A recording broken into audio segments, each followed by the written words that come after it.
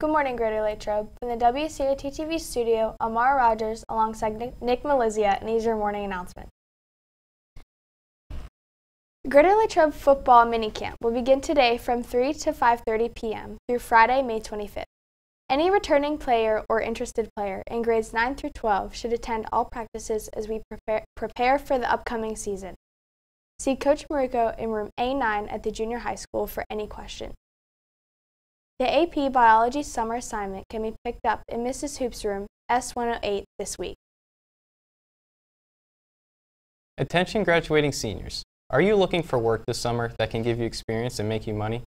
Vector Marketing has positions available in customer sales and service that offer a 750 per appointment base pay. Please stop in the 1112 office to pick up more information or visit Vector Marketing website at vectormarketing.com. Any student who did not purchase a yearbook and still wishes to do so may buy one on Tuesday, May 29th, starting at 7 a.m. in C102, the yearbook room. Books will be $100 and must be paid with cash or money order. No personal checks will be accepted. Payments must be in full to get a book. No additional books will be sold prior to May 29th. The high school girls soccer team will be hosting a spring informational meeting tonight at 6 p.m. This is for any girl interested in playing soccer next year. See Coach Morrison if you have any questions. There will be a National Art Honor Society meeting on Tuesday, May 22nd at 7 a.m. in, S, in room F201. We will be back after this commercial break. Approximately 6.5 million animals enter shelters each year, and over 500,000 people in the U.S. are homeless. These stats are what helped found the Open Paws, Open Hands organization with the goal of helping animals and people in need in our local area. The organization is looking for supplies to donate to the Action for Animals Humane Society in Latrobe and the Union Mission Homeless Shelter in Loyalhanna. They need your help. By donating the items on your screen, it'll help animals and homeless people in our local area. Donations will be collected until May 25th and donation boxes can be found in the cafeteria, commons area, gym lobby, and junior high corridor. The organization will be selling bracelets during all lunches for $1. That prescription drug sitting unused in your bathroom could pose a public safety and public health risk. Unused or expired prescriptions disposed of improperly may get into the water system or be a target of those seeking to feed drug abuse habits. According to the Federal Drug Enforcement Agency, studies show that a majority of abused prescription drugs are obtained from family and friends. Make a difference in our community by going to the Latrobe Police Station and disposing of your unused prescriptions. A drug take-back day will be all day today at the Latrobe Police Department. It is a great opportunity for you to drop off expired or unused prescription medications in a safe environment. Seniors, be sure to check the senior high webpage for all document, document or commencement information. Now here's Emily Weaver with the weather report.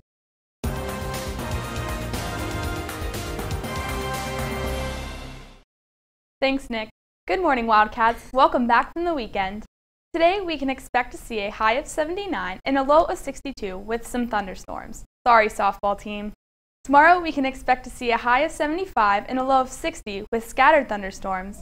And Wednesday, we can expect to see a high of 74 and a low of 56 with yet more isolated thunderstorms. Maybe if we get these storms over with, we'll be safe for graduation. Well, it's officially time for me to sign off. Thank you all for listening to the weather and sometimes even wrong predictions. It has been a great year with you all, and I hope you all have an amazing summer. That's officially all for Weaver the Weather Woman. Back to you. Thanks, Emily. The Greater Latrobe Hockey Club is hosting their summer tryouts beginning on May 22nd at 7 p.m. in the Center Ice Meeting Room in Delmont. Varsity and middle school on ice sessions will follow. All players interested in playing on a team next year are required to participate. Registration paperwork and USA Hockey confirmation are required. Contact Mrs. Rossi with any questions. There has been a temporary change to the after-school library hours. The library will be open after school today and Thursday this week. It will not be open after school tomorrow.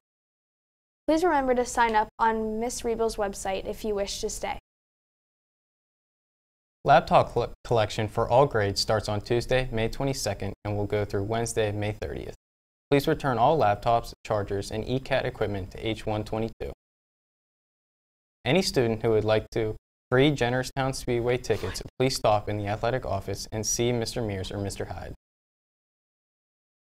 There will be a meeting for all girls in grades 9 through 12 interested in playing girls volleyball next year on Wednesday, May 23rd at 6:30 p.m. in the bag room. Please join the coaches as they discuss the upcoming season, summer schedule, and booster organization. Parents and players are encouraged to attend.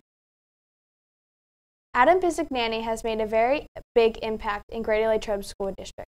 Here is Bo Ruffner with today's Student Spotlight.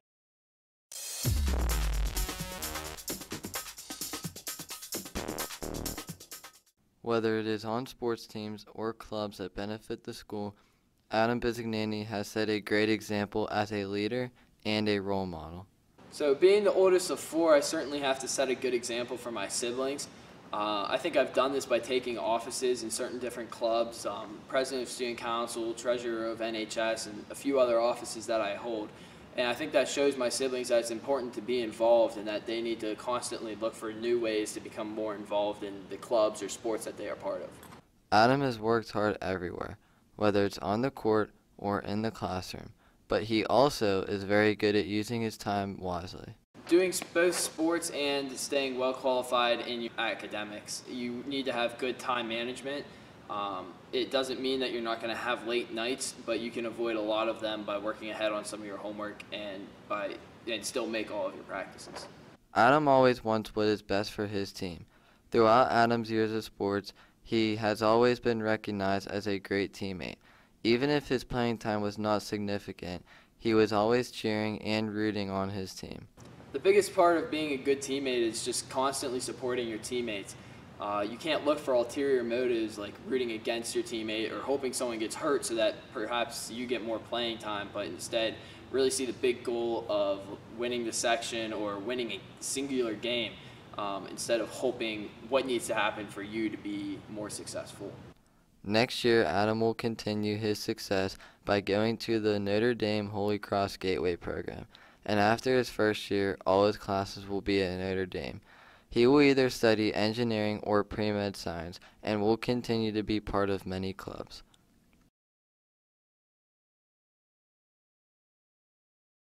Reporting for WCAT TV, this has been Nick Malizia and Mara Rogers. Thanks for watching and have a great day. Stay tuned for Kid in the Hall.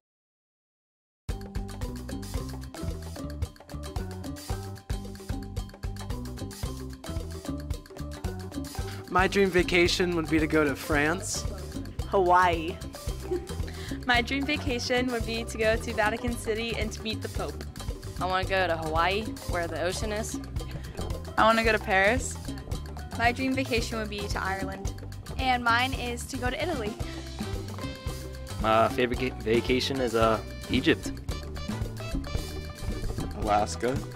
I think I've already taken it A couple of summers ago, uh, my wife and three kids did a tour of the American Southwest.